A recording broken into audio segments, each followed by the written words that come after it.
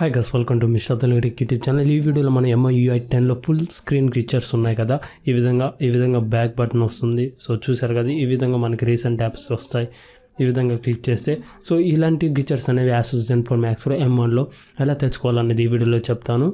Guys app పేరు వచ్చేసరికి fluid navigation గిచర్స్ అని ఉంటాయి. సో ఈ విధంగా ఉంటుంది యాప్ అయితే మీకు డిస్క్రిప్షన్లో కూడా యాప్ లింక్ ఉంటుంది. మీరు ఆ- ఆ ఆ లింక్ని యూజ్ చేసినా మీరు డౌన్లోడ్ చేసుకోవచ్చు యాప్ని అయితే.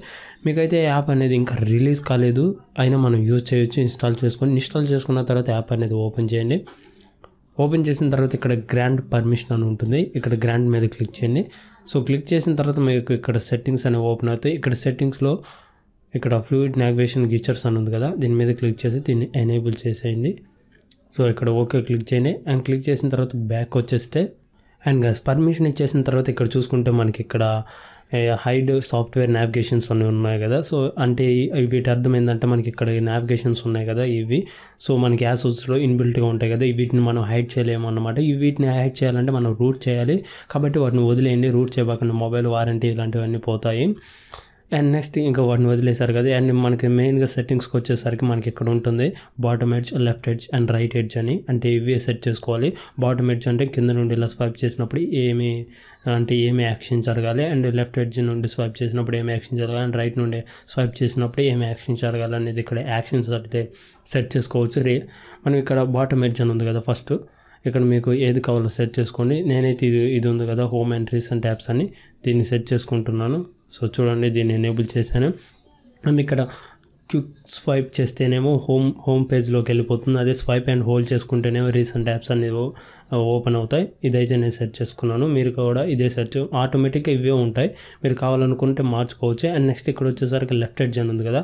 మనకు లెఫ్ట్ నుండి స్వైప్ చేసేటప్పుడు బ్యాక్ రావాలి ప్రీ ప్రీవియస్ రావాలని సెర్చ్ చేసుకోమని ఉంటుంది.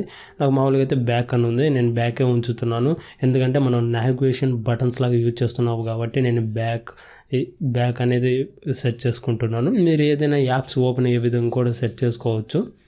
అండ్ మీకు ఇక్కడ స్వైప్ అండ్ హోల్డ్ అని ఉంది కదా. స్వైప్ అండ్ హోల్డ్ చేసి అంటే మీకు ప్రీవియస్గా అంటే ఆ బ్యాక్ బటన్ ప్రెస్ చేయకముందు ఏదైతే యాప్ని మీరు ఓపెన్ చేశారో ఆ యాప్ అనేది ఓపెన్ అవుతుంది ఇక్కడ.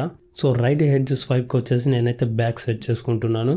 అండ్ నెక్స్ట్ వచ్చేసరికి ఇక్కడ లెఫ్ట్ హెడ్జ్ అని ఉంది కదా. లెఫ్ట్ హెడ్జ్ దానికి వచ్చేసి నేను హోమ్ అయితే సెట్ చేసుకుంటున్నాను ఇక్కడ. సో చూడండి హోమ్ సెట్ చేసుకున్నాను.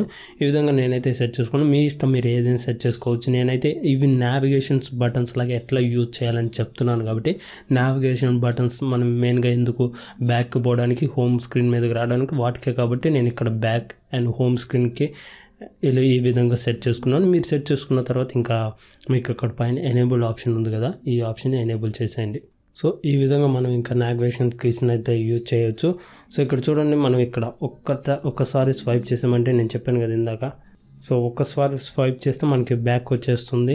అండ్ అదే మనం ట్యాప్ చేసి ఆంతుని ఉంచామంటే మనకి ఏదైతే రీసెంట్ యాప్ ఉందో అది లోడ్ అవుతుంది. ఈ విధంగా చూడండి రీసెంట్ ట్యాప్ అనేది ఈ విధంగా ఓపెన్ అవుతుంది మీకు.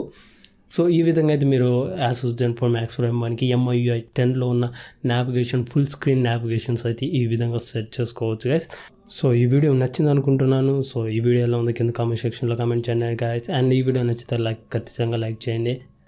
అండ్ మన ఛానల్కి ఇంకా మీరు కొత్తగా వచ్చినట్లయితే సబ్స్క్రైబ్ చేయకుంటే కింద కనపడుతున్న రెడ్ కలర్ సబ్స్క్రైబ్ అయ్యడంతో పాటు పక్కన ఉన్న బెల్ ఐకన్ మీద ట్యాప్ చేసి ఛానల్ని సబ్స్క్రైబ్ చేసుకోండి.